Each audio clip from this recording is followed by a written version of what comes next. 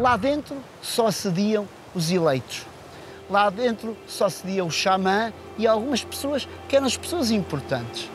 Era um umbigo da terra, era um espaço fechado, era um espaço das sombras, em contraposição ao espaço da luz que era cá fora.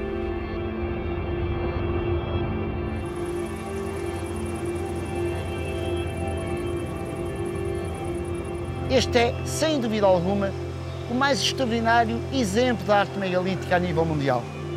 Costumamos dizer que este monumento está para a arte megalítica como a Capela Sistina está para a arte renascentista italiana.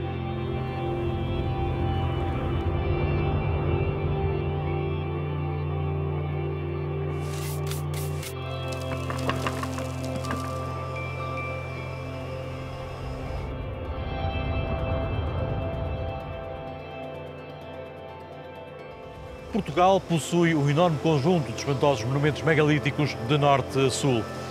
Contudo, aquilo que diferencia os monumentos da Beira Alta é a grande concentração de dólmenos com pinturas no seu interior. A região de Viseu Dom Lafões tem, sem dúvida, alguns dos mais emblemáticos dólmenos pintados e gravados do mundo.